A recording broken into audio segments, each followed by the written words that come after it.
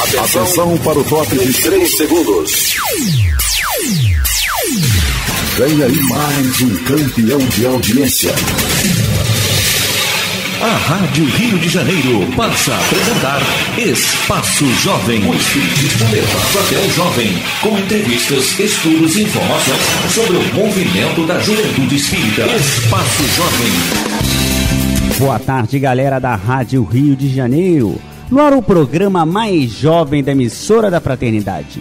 Eu sou o Leonardo Pimenta e apresenta comigo Vitor Pinheiro o programa Espaço Jovem.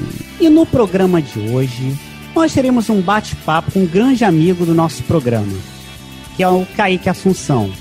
Kaique, que é um dos diretores da Companhia Teatral Mensageiros, e vai hoje bater um papo com a gente sobre a nova peça que ele está idealizando e que estará estreando no ano que vem, que é a peça Brasil, Coração do Mundo, Pátria do Evangelho, inspirado no livro de Chico Xavier, baseado num livro de Humberto de Campos, psicografado por Chico Xavier. Olá, Kaique, bem-vindo ao Espaço Jovem. Olá, meu prezado. Mais uma vez é um prazer estar com todos. Vamos lá para mais um bate-papo interessante, né?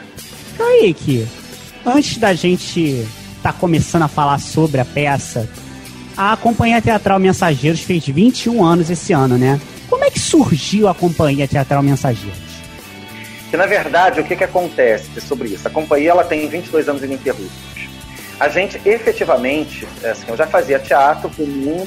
Quando eu me tornei espírita, eu deixei o teatro de lado, até porque as atividades começaram a bater, da mocidade espírita, eu era bem jovem. E aí o pessoal da casa solicitou a diretoria que a gente fizesse uma peça para angariar alimentos e a gente fez há dois mil anos, em 1997.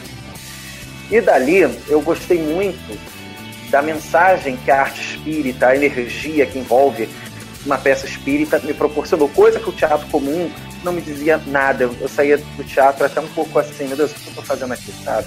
Vazio. E aí eu tive a ideia de levar a, a fazer peças espíritas e levar dois mil anos aos palcos. Então aí eu explico que a gente passou, começou muito de baixo. Em 1998 a gente só se apresentou em centros, muito em centros. Em 1999 é que a gente é, estreou há dois mil anos é, em palco de teatro comum. Foi no Teatro João Caetano. Entendeu a questão? Agora vamos convir. Se a gente se apresentava com peças em casas espíritas, é uma atividade, não é isso?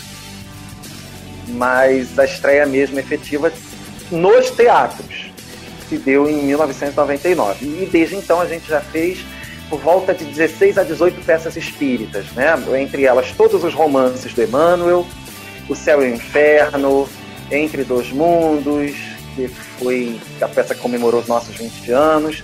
Fizemos dois musicais e estávamos preparando o terceiro musical. É, também fizemos Francisco de Assis, mas dos musicais seria Renúncia e Bezerra de Menezes, né? E, e estrearíamos há dois mil anos, mas a pandemia mudou tudo. Ah tá, estrearíamos como musical. E como é que surgiu a ideia de se fazer uma peça baseado no livro, né, de Humberto de Campos? Brasil, Coração do Mundo, Pátria do Evangelho. Como é que surgiu então, essa proposta? Eu, a gente já, eu já conheço, não só como espírito, já conheço os textos de Humberto de Campos e gosto muito, mas assim, a gente já utilizou muito alguns textos dele é, na peça Entre Dois Mundos, em outras também, né? Alguma coisa, inclusive, no Paulo Estevão, quando se refere a Jesus, a Boa Nova e tal. E eu sou historiador também, né? E, na verdade, foi uma inspiração final do ano passado, eh, eu escrevi essa peça, foi muito rápido. Né? Aliás, Hélio Bezerra, que eu considero peças irmãs, porque Bezerra é, faz parte do livro Brasil, Coração do Mundo, né? o início do Espiritismo e tal. Tá lá um capítulo dedicado a ele e outro ao início do Espiritismo. Então, são, foram duas peças foram escritas muito rápidas. Bezerra e Brasil, Coração do Mundo. Uh, Brasil, Coração do Mundo foi escrito em quatro, cinco dias. Aí eu enviei é, a pedido de autorização para a FEB, tive isso quase ano novo, de, do ano passado para esse ano, mas é um trabalho que ia ficar assim, como eu tenho ideias que estão guardadas, arquivadas para algum dia, né? Faz parte, por exemplo, o Francisco de Assis é uma peça que eu guardei durante três anos. Ela foi escrita em 2013 e foi guardada até 2016, quando a gente estreou, né? E com o Brasil, o coração do mundo seria a mesmíssima coisa. Ela ficou arquivada. E nós íamos fazer esse ano, íamos continuar com Bezerra, que a gente chegou a. Aliás, esse ano parecia muito promissor, né? Porque a gente chegou a fazer três apresentações, praticamente lotadas, né? O Bezerra de Menezes a gente apresentou no Teatro Rival, lotou esse ano. É, inclusive, a gente fez uma mesa redonda com a Nádia do Porto Vale, Eduardo Araújo, que são daqui da Rádio Rio de Janeiro e tal. E fizemos também o Renúncia em Juiz de Fora, que lotou o teatro, 500 pessoas. E também chegamos a fazer Bezerra de Menezes com um público muito bom na Arena de Guaratiba. E a gente estava se preparando para fazer uma temporada de renúncia no teatro do Tijuca Tênis Clube. E aí veio a pandemia, paralisamos tudo, toda a agenda anual caiu. E... Enfim, né, essa, essa, essa essa temporada do Renúncia parecia ser muito boa. E em Pará, assim, estávamos ensaiando há dois mil anos, né? E aí a gente encerra dois mil anos, que o elenco preferiu. Enfim, né? A gente não sabe como as coisas vão ficar, encerramos.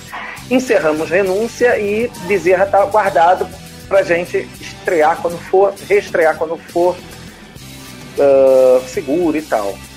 E aí nisso daí eu comecei a perceber a, as pessoas muito tristes e a questão de corrupção política vindo à tona, etc. E eu pensei, né, bem no início da pandemia, o momento dessa peça estrear, porque a gente teve grandes nomes da nossa história, grandes personagens. O Pedro II é um dos maiores nomes da humanidade e é imperador do Brasil, né? Então eu, eu pensei exatamente nisso. É o momento da gente estrear essa peça, né? Exatamente na contramão do que a gente observa no Brasil atual. As pessoas olhando as coisas tristes, escândalos, isso, aquilo. Então é o momento exatamente da gente levar um pouco de fé e relembrar a missão espiritual do Brasil. E claro, seria uma peça comum, a gente chegou a pensar nela como peça comum, o texto estava escrito, foi concebido como peça comum, mas quando eu percebi que a pandemia ia se prolongar muito mais do que a gente imagina, Aí eu tive que mudar os planos e, assim, fazer uma nova concepção para essa peça. E Kaique, como é que foi para você fazer essa adaptação, né? De um, de um texto que é do livro do Humberto de Campos para um roteiro, para uma peça e agora você teve que mexer novamente no roteiro. Como é que foi esse processo de adaptação? Então, a gente teve aí, digamos, dois, uh, dois, não são exatamente problemas, né? Mas a gente teve dois obstáculos. O primeiro, que é assim, o Chico Xavier psicografou esse livro, acho que foi o sexto livro dele. Ele era muito jovem, não é aquele Chico Xavier velhinho que a gente vê. Ele era muito jovem, de 1938, 39 o livro, e vendeu muito na época. Mas eu também percebi que é um livro uh, muito discutido e é um dos livros do Chico Xavier que são, geram mais polêmica, o que é bom. Né? Até porque a gente está lidando com a história do Brasil, é, é muito natural. História é feita de fatos e opiniões sobre esses fatos. Qualquer fato histórico, independente do livro, é hiper discutido até hoje, rediscutido. E o com livro, que de alguma maneira trate de história, não seria diferente. Então, para escrever o texto, eu primeiro li a crítica ao livro. Eu procurei ler os críticos, o que, é que os críticos têm a dizer. Onde está a polêmica? Porque o nosso objetivo não é polemizar, é trazer sentimentos bons a todos. É, com relação ao livro, ele me deu bastante liberdade, porque é um livro narrativo.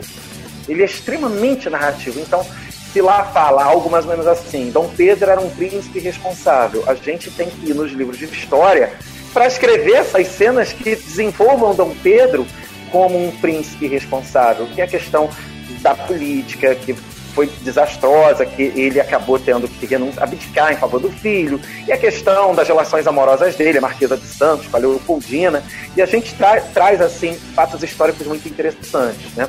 Eu procurei, uh, dentro dessa liberdade que o livro nos forneceu, assim, outro detalhe antes de passar adiante, que no, na questão da, da proclamação da República, que se fala Deodoro da Fonseca e os republicanos o livro psicografado que fala. Eram muito próximos a Dom Pedro II, todos lhe deviam favores. Então vamos à carta disso na história.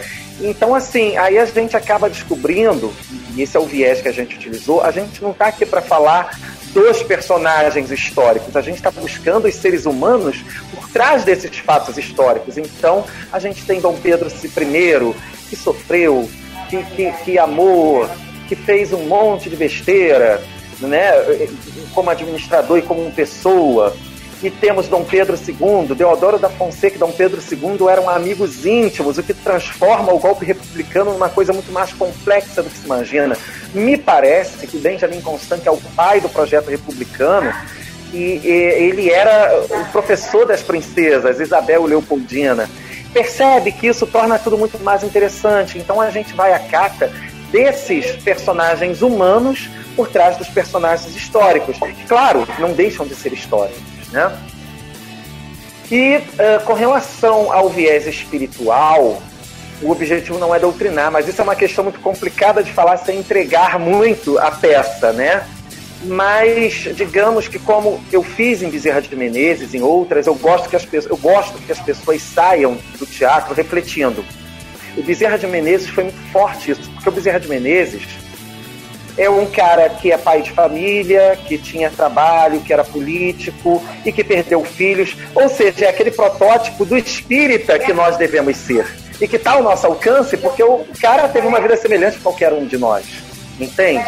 E, e, e as pessoas, eu gosto que as pessoas sa, sa, saiam do teatro refletindo. Observa a vida do Bezerra de Menezes de fatos pouco conhecidos ou não conhecidos e, e, reflitam sobre suas vidas. Com relação a essa peça, é a mesma coisa. Eu espero que as pessoas saiam muito felizes do teatro, se sentindo patriotas e também refletindo sobre a nossa missão diante do Brasil. Agora, eu não quero doutrinar ninguém. Que as pessoas pensem do Brasil como coração do mundo e pátria do Evangelho do, da maneira como elas quiserem, entende? É, você falou no início que você era, era ator, fazia peça até, até depois se dedicar exclusivamente a fazer peças espíritas. É, e você está falando toda essa mensagem que você quer passar com, com essa nova peça. Então, tipo, queria que você explicasse um pouquinho de qual é essa grande diferença da arte espírita, de fazer uma arte espírita, de fazer uma peça espírita, do que você fazer participar de uma peça normal. Olha só, é, é uma pergunta muito interessante, muito mesmo. Claro que eu não quero desmerecer o teatro de maneira alguma né? Porque o teatro tem uma mensagem muito importante, sem dúvida alguma, né? O objetivo de uma novela, de um filme, de uma peça teatral é de alguma maneira transmitir uma mensagem ao público que a assiste, certo? Até aí é uma questão.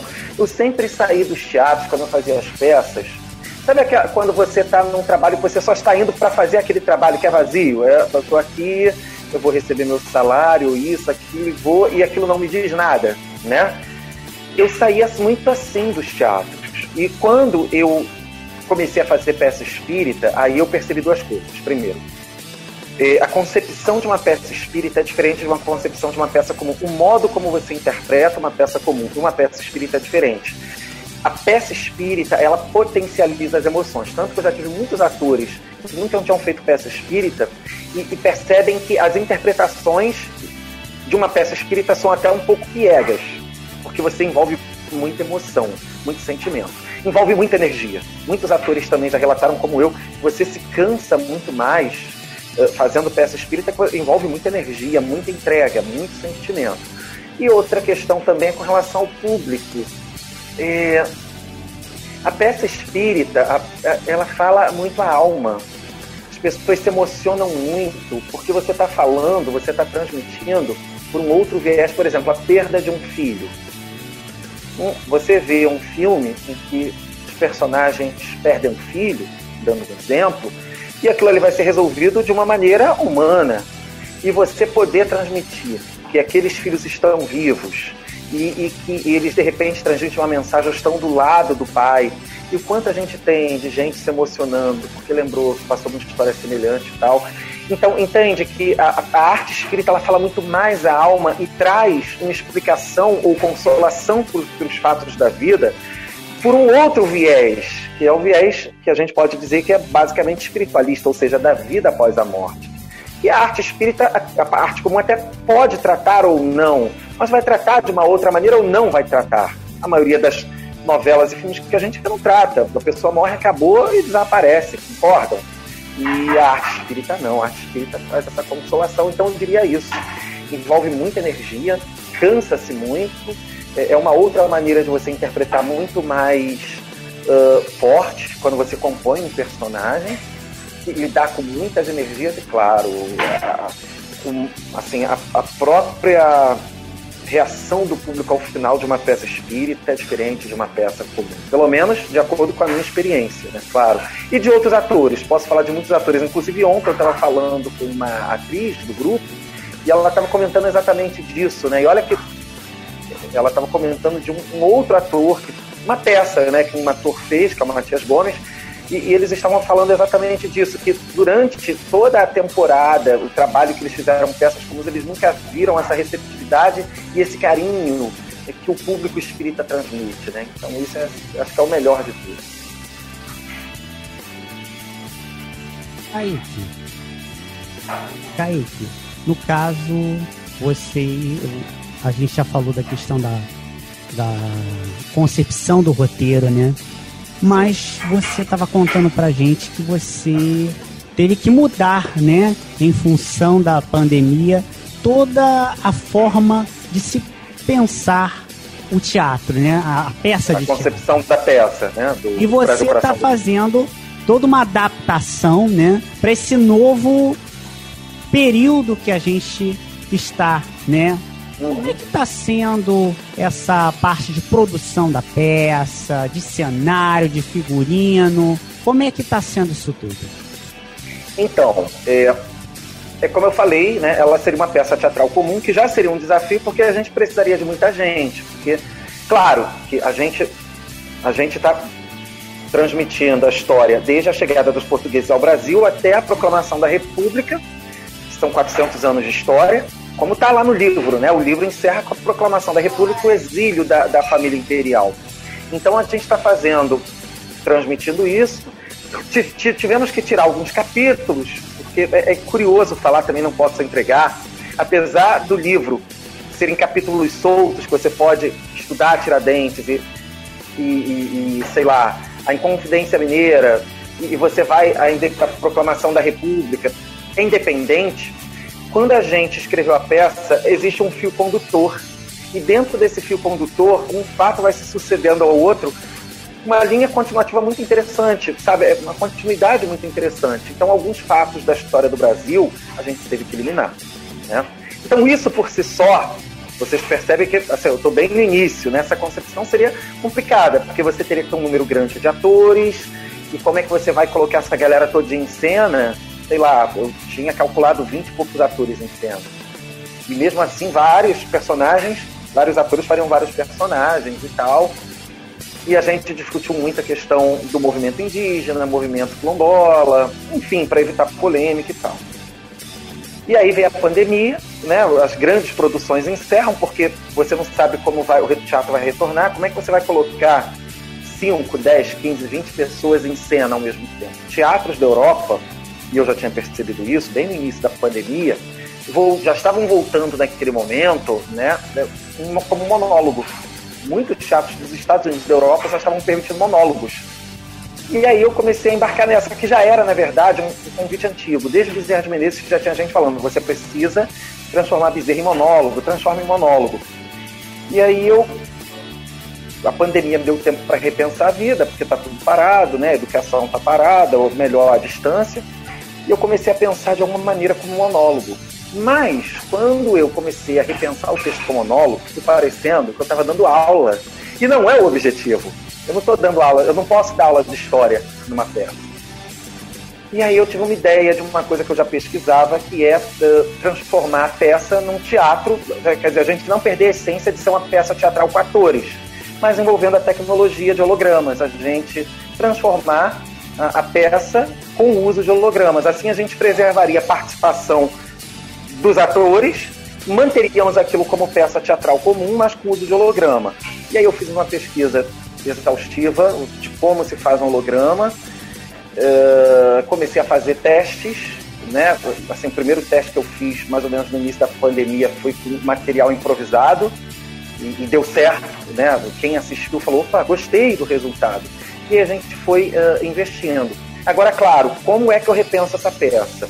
Uh, é, o, no, no, processo de recebimento do livro Paulo Estevão no plano espiritual, que é uma coisa que pouco que a gente conhece, ou se perguntou sobre isso, né? Como é que Emmanuel, que não viveu Paulo Estevão, ele não é um personagem do Paulo Estevão, ele, ele recebeu aquilo, como é que ele sabe o pensamento de Paulo, de Pedro, como é que ele sabe isso? Então, aí eu vi que os, os espíritos que viveram a história no plano espiritual, eles abriram uma espécie de telas mentais para transmitir aos espíritos que trabalhavam com Chico Xavier, aqui ó, Barnabé foi um deles, né? Barnabé, companheiro de Paulo, abriu uma tela mental e mostrou: a época foi isso, vocês estão vendo as minhas recordações, como se fosse uma espécie de túnel do tempo no ar.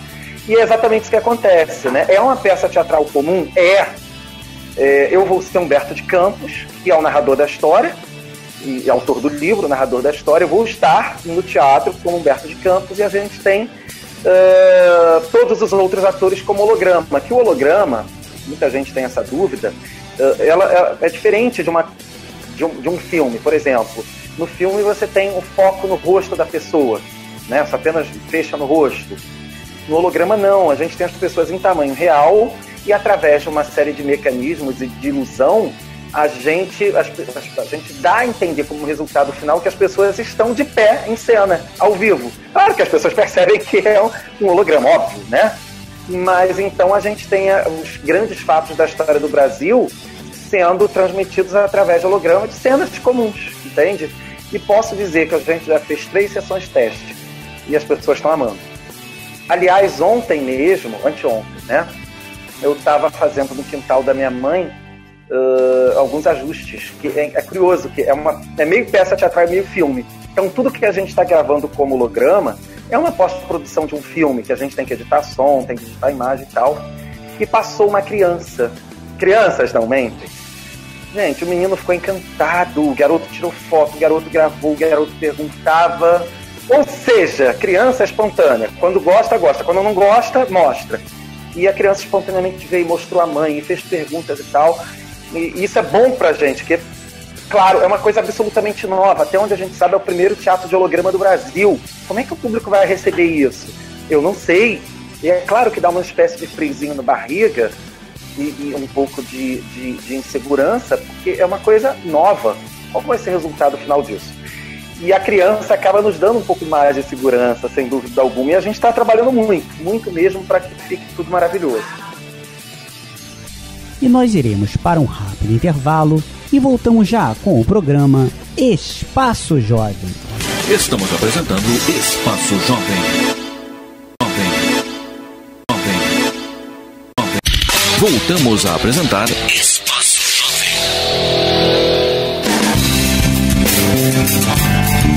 voltamos com a segunda parte do programa Espaço Jovem.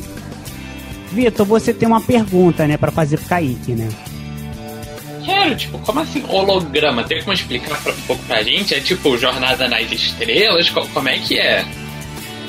Holograma é através de uma série de mecanismos de telão, de uma película específica, você faz uma projeção e aquilo meio que no escuro, na penumbra, é, transmite a ideia de que a pessoa está ao vivo, em tamanho real. Tá? É, e dá uma ideia de tridimensionalidade, que depende também da forma como a pessoa vai estar no teatro. Né? Eu já vi no YouTube, você percebe que é muito utilizado em shows na Europa, nos Estados Unidos e alguma coisa no Brasil também. E a gente percebe que, assim, depende muito de onde você vai ver. Tem um vídeo no YouTube que eu recomendo vocês verem, da Maria Callas, em holograma. E eu já vi o resultado final daquilo sendo transmitido assim em câmeras profissionais, né? Ficou maravilhoso, parece que ela está ao vivo. Parece que ela está ao vivo.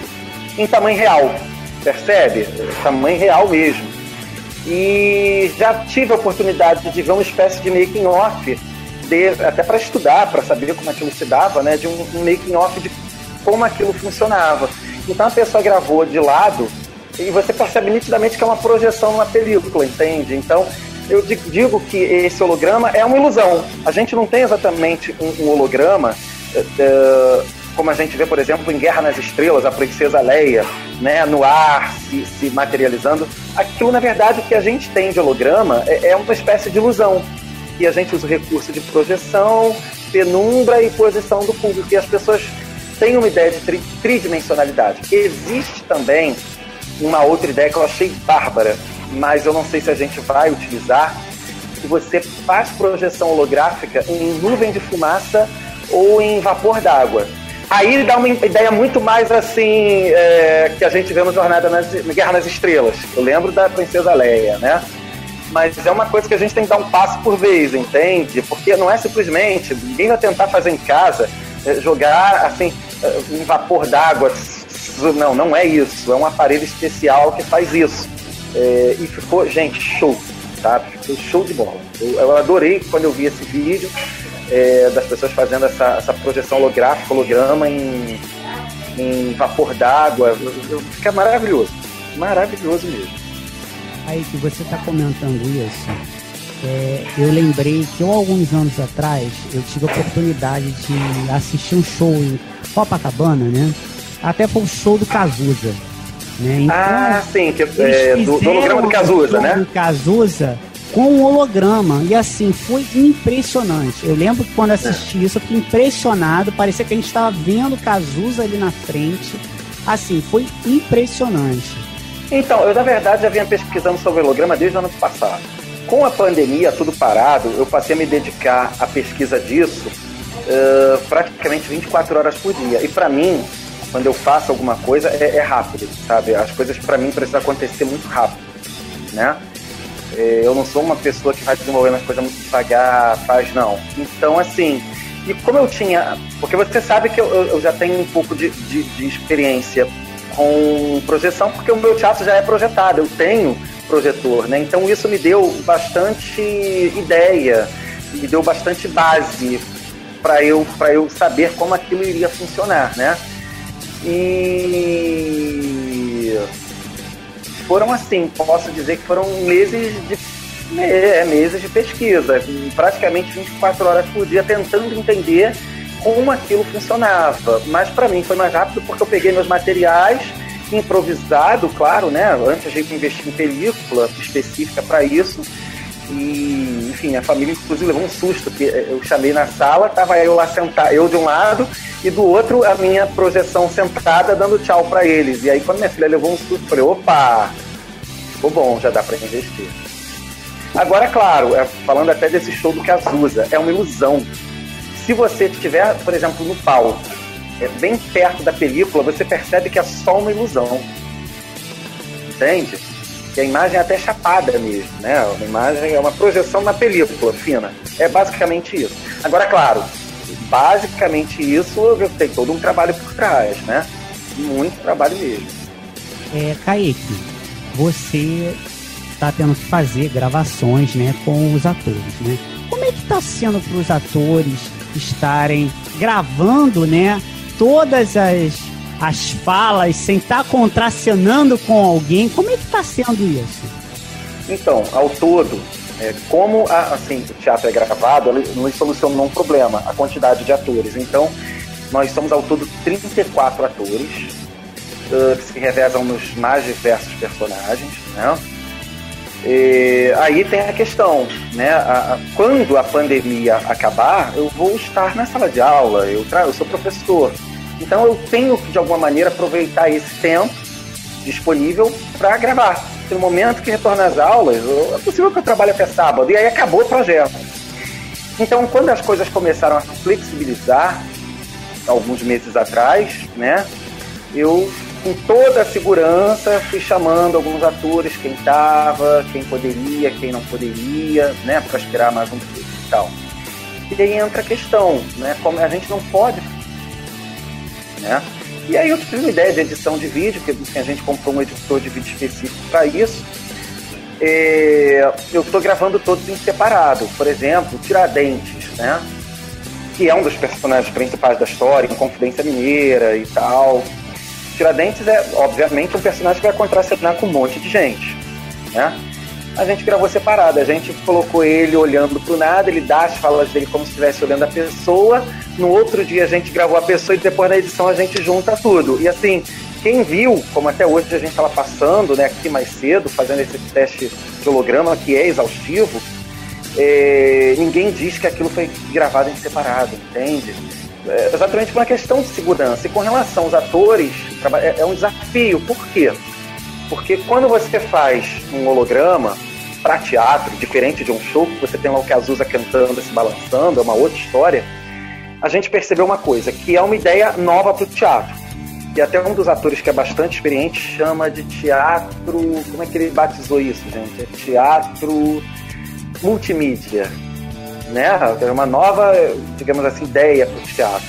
E os atores, no início, a gente, digamos assim, a gente, entre aspas, apanhou um pouco, porque era uma coisa nova para todo mundo. Porque não é uma interpretação para vídeo, que é mais seca. Quem sabe vídeo sabe que é uma coisa muito seca. E não é uma interpretação teatral, que é uma coisa mais espontânea, mais assim, aberta. Né? Porque se a gente faz uma interpretação teatral para vídeo, parece que a gente está fazendo careta. E os atores, alguns inclusive bastante experientes em tudo, né, a gente conseguiu chegar a um consenso assim: ok, aqui tá bom. Um meio termo entre teatro e vídeo. O que, que eu quero dizer com isso? Até o modo de você interpretar é diferente. Mas foi um desafio maravilhoso para todo mundo. Todo mundo que está. Já está quase tudo gravado, né? A gente agora só falta gravar o Dom Pedro II, os personagens que interpretam com ele, a Princesa Isabel, os soldados, etc., já estão todos gravados a Imperatriz Teresa Cristina e o Deodoro da Fonseca. E é o único que a gente, um dos únicos que a gente vai se permitir que eles interpretem face a face. Tem uma ligação muito profunda entre eles, né? Então eu preferi guardar essa cena para quando fosse mais seguro, como é o caso agora, para a gente gravar pessoalmente. Mas assim, está sendo uma experiência maravilhosa, maravilhosa e única. Oi. Kaique, é, outra coisa que eu iria perguntar, como é que também está sendo essa questão da ambiência espiritual? Né? Porque uma coisa a gente está fazendo ali no teatro, a gente sabe que ali no teatro há toda uma preparação espiritual. Eu já tive a oportunidade várias vezes de estar acompanhando o trabalho de vocês, até os bastidores, né? Lá do, dos trabalhos, das peças que vocês desenvolvem. Então a gente vê que há todo um, já toda uma preparação espiritual, né? E os próprios atores sempre falam sobre isso. Como Sim. é que tem sido essa preparação espiritual é, para se fazer esse trabalho? Então, ela começa, na verdade, na própria concepção do espetáculo, né? Como até dando continuidade à pergunta anterior, boa parte dos figurinos estão sendo feitos do zero. Você sabe, já acompanha os meus trabalhos, né? Eu gosto de caprichar nos figurinos, eu, gosto, eu não gosto que as pessoas olhem e pareçam fantasias. Eu gosto que as pessoas olhem e pareçam uh, roupas reais, né? Então a gente teve que fazer muita coisa. Alguma coisa foi aproveitada de renúncia, alguma coisa foi aproveitada do Bezerra de Menezes, que é século XIX, mas assim, a maioria teve que ser feita do zero. Dou destaque a farda do Tiradentes, que é lindíssima, a roupa da Princesa Isabel, que é lindíssima, a farda do Dom Pedro I, a farda do Deodoro da Fonseca e, em especial, o figurino mais lindo que eu já projetei, eu não sou costureiro, que é o traje majestático de Dom Pedro II, que está arrasando. O original está em Petrópolis. Então, isso por si só já faz os atores eh, ficarem mais próximos dos personagens, que é uma coisa que eu gosto. Eu gosto que as pessoas vivenciem, chorem.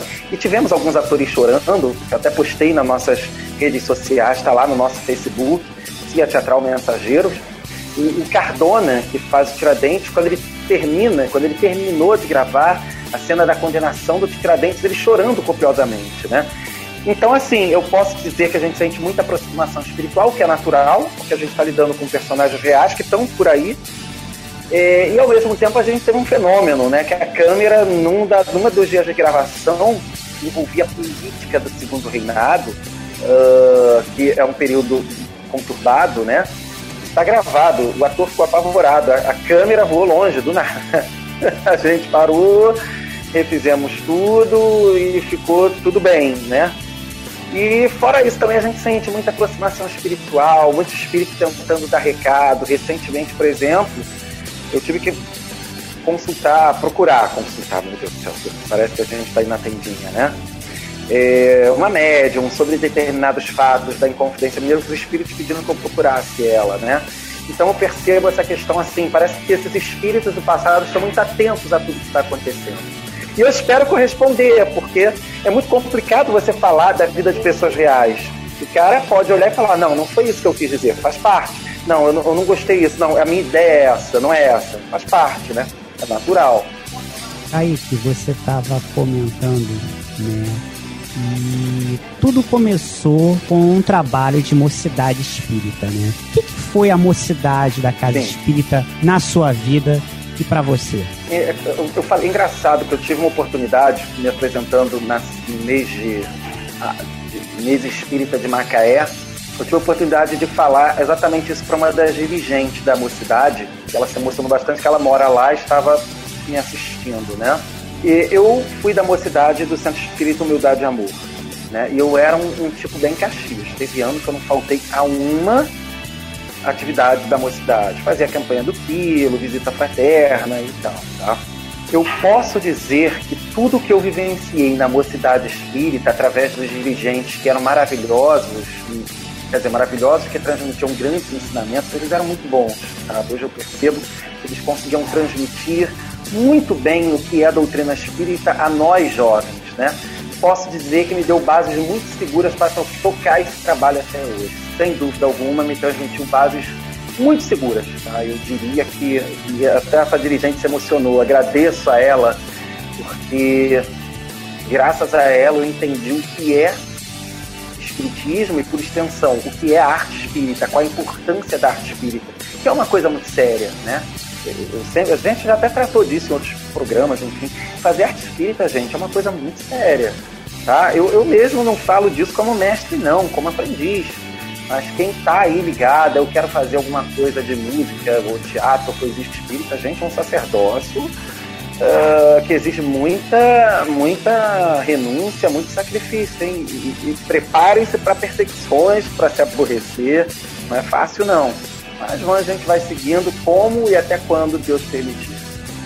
Kaique, você acha importante os jovens, os jovens espíritas, terem contato com os diferentes tipos de artes espíritas?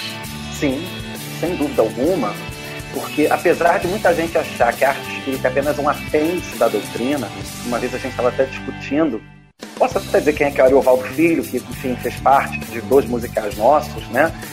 E, e uma vez ele estava sendo discutido exatamente essa arte espírita meio que como um apêndice, quando na verdade a arte espírita tem uma grande importância é, no meio espírita que as pessoas não percebem. Uh, então, claro, não só jovens como adultos, né, mas gente, o jovem, é, é, é claro, a pessoa que está começando a vida, é uma página mais em branco, não tem tantas experiências quanto uma pessoa de 40, 50, 60 anos. Então, a arte espírita, ela nos dá uma importância grande porque você, por exemplo, está assistindo, está lendo há dois mil anos, ou uma palestra sobre há dois mil anos ou sobre nosso lar, e você vai a uma peça espírita, você vivencia aquilo, os atores interpretando aquilo parece real, aquilo na verdade penetra muito mais ao seu ser e te leva a muito mais reflexões. Entende? Fora o fato da arte espírita permitir que a gente coloque, e esse é o grande objetivo da arte espírita, é que a gente coloque em prática uma coisa que é vital. Eu acho que de alguma maneira, de alguma maneira, a arte espírita ela deve estar a serviço das obras de caridade, da filantropia entende? Então isso, na verdade, uh, tem essa dupla função, principalmente ao jovem que não tem tantas experiências de vida, ele consegue, digamos assim, penetrar melhor nas, na intenção dos personagens e talvez, como aconteceu comigo como jovem, né, há dois mil anos, e eu, no caso, vivenciei, me ajudou em muitos, a resolver muitos problemas da minha vida porque no final das contas aquilo ali é um casal e lidar com traição, com isso, com aquilo, com aquilo outro, com calúnia, né? E ao mesmo tempo essa, despertar essa questão filantrópica, que eu acho que o ser deve estar de alguma maneira ligado ao longo da vida. Entende? A vida só faz sentido se de alguma maneira a gente se doar através da caridade. E a arte espírita está aí como uh, sem dúvida alguma, a, a grande promovedora da caridade no meio espírita, né? Sem dúvida alguma. As pessoas não têm noção quantas obras de arte espírita, seja música, teatro, o que for, é, as pessoas não têm noção no meio espírita o quanto uh, é, assim, essas obras de arte arrecadaram para ajudar a levantar centros, ou sustentar centros, ou fazer obras, a creche, asilo. As pessoas não têm noção disso. Kaique, e você está pensando em estrear a peça quando passar esse período de pandemia, né? É, você já chegou a pensar qual teatro você pretende fazer? É, e como é que vai ser esse trabalho em cena? É, a gente chegou no momento que a gente está encerrando as gravações, como eu falei, falta pouco, e a gente já está começando a, a, ver como é que isso vai ficar em tamanho real no teatro, né? As películas está dando um trabalho danado. Claro, dentro dos nossos recursos financeiros, a gente está fazendo uma vaquinha virtual, aliás, quem quiser pode ajudar. Na nossa página CIA Teatral Mensageiros tem link, tem maiores informações. Inclusive, a gente está postando quase que semanalmente a gente está postando fotos né, do diário de produção, de, desses figurinos e tal. Então vocês podem acompanhar, quem estiver nos assistindo. Mas eu quero estrear ano que vem. A minha ideia é estrear janeiro do ano que vem. A gente tem até alguns, digamos assim, teatros que estão reabrindo, mas está tudo muito vago, entende? É, os teatros ainda estão se preparando para reabrir de acordo com as normas de segurança. A maioria não reabriu, alguns reabriram, mas assim, é importante também que as pessoas. É, é uma, é uma dúvida frequente das pessoas. É, é um filme? Não. É uma peça teatral comum, e essa é uma coisa do qual não abro muito mão. E eu, por isso que eu poderia estrear agora em novembro, mas eu não quero. Eu quero estrear quando for seguro, uh, ou relativamente seguro, né? Enfim. Então isso nos leva mais ou menos a janeiro do ano que vem. Ah, agora vai ser um teatro comum, as pessoas vão adquirir ingresso, vão sentar e vão assistir. Agora vão assistir um teatro eu, presencial, e o resto é tecnologia. Quer dizer, o resto do elenco, né? Kaique, nós estamos chegando ao finalzinho do nosso programa, mas antes, a gente queria que você deixasse uma mensagem final para os nossos ouvintes aqui do programa Espaço Jovem. E essa época de pandemia, que no final das contas é um presente de Deus para nós, para a gente repensar as nossas vidas e as nossas atitudes, que as pessoas possam se tornar mais fraternas e humanas. Objetivo principal, olha, principal da pandemia, de tudo isso, não é a gente sobreviver a qualquer custo. Porque muita gente no dia a dia já sobrevive em vez de viver. E ela veio para nos trazer melhores sentimentos, para que a gente possa repensar as nossas vidas. Então eu desejo que esse período seja de muito aprendizado e que quando a gente saia desse período a gente saia mais forte, mais fraterno, menos egoísta, menos vaidoso, menos pensando em coisas verdadeiras que não somente as questões materiais. E agora você, jovem espírita, que está na universidade e quer curtir temas à luz da doutrina espírita, vai agora a nossa dica. A área de Relações Externas do CERF está fazendo uma pesquisa e um convite para você conhecer os NIL. O NIL é um núcleo espírita universitário, que é um espaço de discussão e integração, onde você, jovem, tem oportunidade, juntamente com outros jovens, de discutirem temas à luz da doutrina, e assim não está longe da casa espírita. Se você já faz parte de um MIL ou quer fundar um MIL na sua casa espírita, entre em contato com a área de Relações Externas do CERJ. O e-mail da área de Relações Externas do CERJ é relações.externas.org.br Repetindo, relações.externas.org.br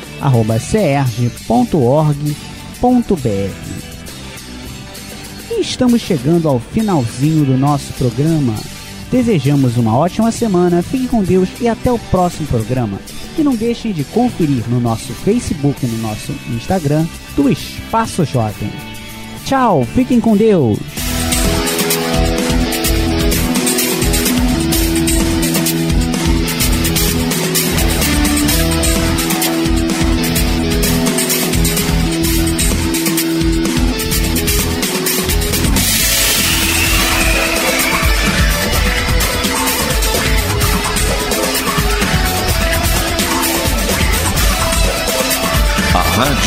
Janeiro apresentou Espaço Jovem.